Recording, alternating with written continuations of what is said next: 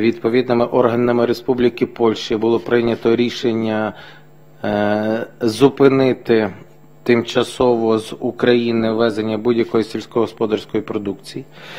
Е, Ми розуміємо складну ситуацію, яка склалася на польському ринку. Е, Зрозуміємо цю важку конкуренцію, яка стала наслідком блокування українських портів, але е, очевидно для всього світу, для будь-якої людини в цьому світі, що найважча ситуація в українського фермера, і ми просимо польську сторону брати це до уваги. Надіємося, що під час візиту, який запланований на понеділок, нам вдасться врегулювати ці питання та відкрити транзит і ем, також домовитись по інших питаннях, як було озвучено на всіх наших попередніх зустрічах і домовленостях.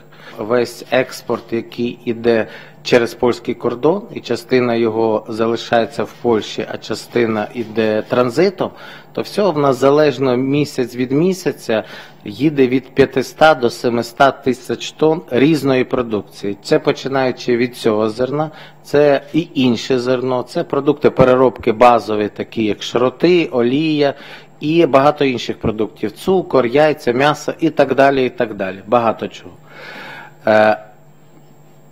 Якщо ми говоримо про те, що ці чотири культури не продаються в Польщі, а продаються транзитом, то це приблизно на нашу думку 150-200 тисяч тонн, не більше по місяцю з цього загального об'єму, що я вам тільки що сказав, що продавалось в Польщі. При спрощенні транзиту, про що ми попередньо погоджували, і надіюсь, що так і буде, ці об'єми. Е, в суттєвій мірі можна компенсувати шляхом транзиту до інших портів, до інших країн, і чи до польських портів, чи до портів інших країн в тому числі.